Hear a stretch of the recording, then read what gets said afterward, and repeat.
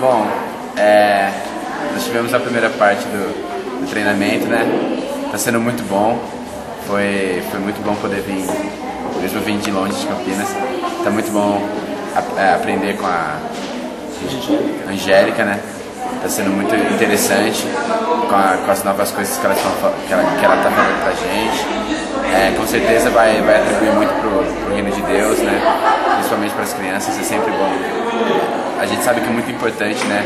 Que é esse, esse, esse ensino que a gente tem que ter para chegar até as crianças. Então, com certeza está sendo muito bom. É, é, agradecer, né?